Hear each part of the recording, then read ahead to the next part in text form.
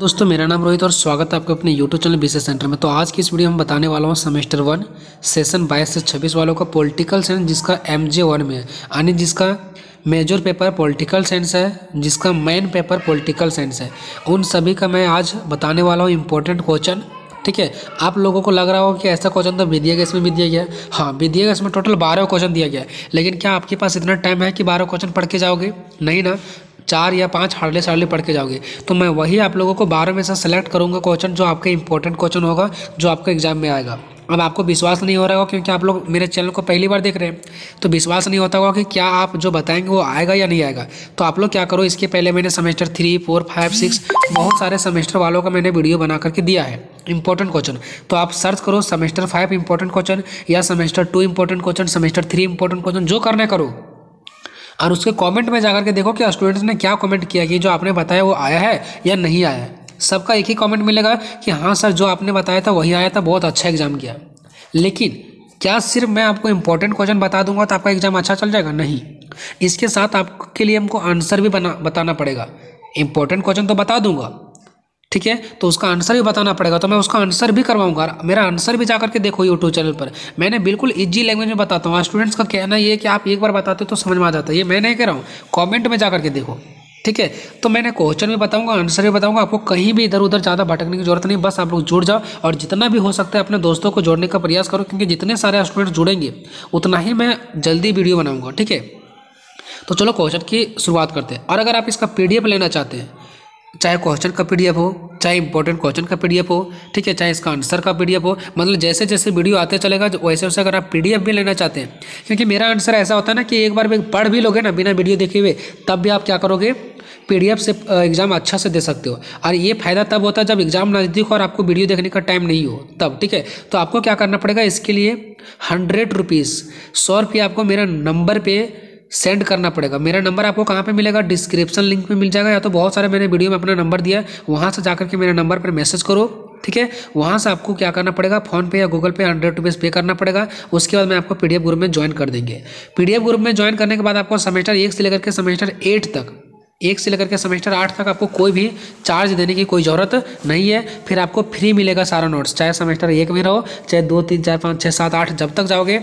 मतलब जब तक आपका ग्रेजुएशन कंप्लीट नहीं होगा चार साल का, तब तक मैं आपको free of cost PDF provide करवाऊँगा। बस आपको वन टाइम हंड्रेड रुपीज़ पे करना है।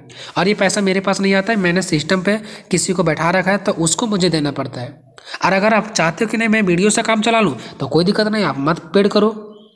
ठीक है? तो आप फ्री वाला जो पीडीएफ ग्रुप है, उसको ज्वाइन कर लो। उसका लिंक डिस्क्रिप्शन में दिया गया है। ठीक है?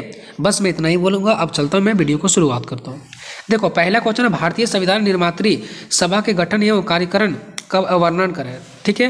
तो ये क्वेश्चन है, इसी क्वेश्चन को यहाँ पे आप लोग को नहीं समझ में आ रहा होगा। इसी क्वेश्चन को चेंज करके इस टाइप से दे सकता है कि भारत में संविधान सभा की संरचना और कार्य प्रणाली पर चर्चा करें। ये दोनों क्वेश्चन एक ही है। ऊपर थोड़ा सा मिस प्रिंट हो गया, इसलिए ऐसा आपको दिख रहा है, ठीक है? दोनों क्वेश्चन एक ही है, क्वेश्चन थोड़ा बहुत चेंज भी करता है तो आपको घबराने की ज़रूरत नहीं है। तो जिसमें मैंने डबल टिकट किया, वो मोस्ट इंपॉर्टेंट क्वेश्चन है, वो सबसे पहले आपको पढ़ के जाना है। और अगर आप चाहते हैं कि कुछ और क्वेश्चन पढ़ के जाएँ तो जिसमें मैंने टिकट नहीं किया है, वो भी अगर आपके पास टाइम बचता है तो वो भी आप पढ़ सकते हैं, ठीक है? लेकिन सबसे पहले आपको वो पढ़ना है, जिसमें डबल टिकट किया गया है। ठीक है?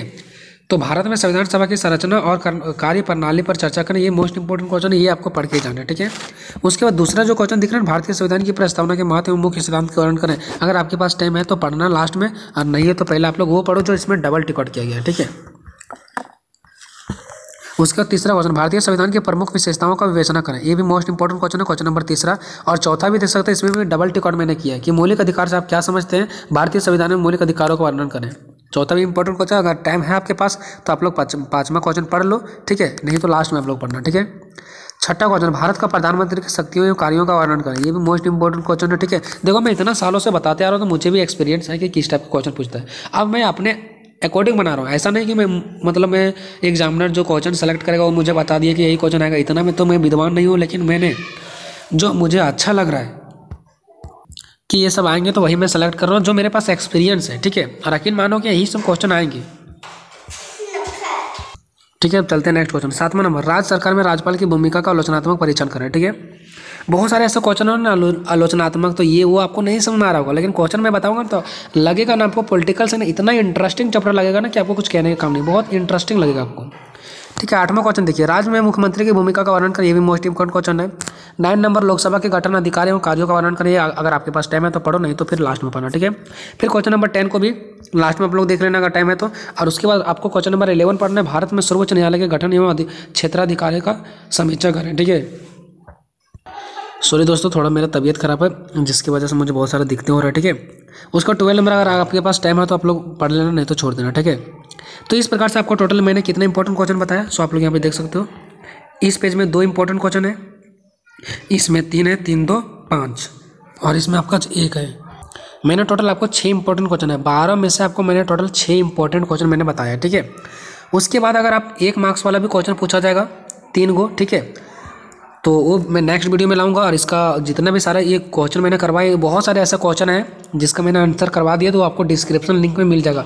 ये छः क्वेश्चन जो आपको दिख रहा था ना इंपॉर्टेंट ऐसा नहीं कि मैंने एक भी आंसर नहीं करवाया इसमें से बहुत सारा ऐसा क्वेश्चन है जो मैंने पहले जब लोगों को पढ़ा रहा था तो मैंने आंसर बना दिया तो उन सभी वीडियो का लिंक जो है वो व्हाट्सएप ग्रुप पर भी मिल जाएगा पीडीएफ ग्रुप में पीडीएफ मिल जाएगा, और डिस्क्रिप्शन में लिंक मिल जाएगा वीडियो को, वहाँ से जा करके देख लो ये क्वेश्चन को, ठीक है? चलो, उसके बाद आपको क्या करना है, अगर आप क्वेश्चन पेपर नहीं देखेंगे सेमेस्टर वन में किस प्रकार का क्वेश्चन पेपर पूछेगा तो भी उसका लिंक डिस्क्रिप्शन में है, वहाँ पे जाकर के देख लो कि सेमेस्टर वन में किस प्रकार का क्वेश्चन पेपर पूछता है, कौन कितना मार्क्स का रहता है, एक नंबर वाले कितना रहते हैं, पाँच नंबर वाले कितना रहते हैं, पंद्रह नंबर वाले कितना रहते हैं, उनमें से कितना बनाना पड़ता है। तो उस सब पर भी मैंने वीडियो बना दिया आप लोग जा करके क्या कर सकते हो, देख सकते हो, मैंने ऑलरेडी इस पर वीडियो बना दिया, ठीक है? तो ये वीडियो आपको कैसा लगा कमेंट बॉक्स में ज़रूर बताना, मिलेंगे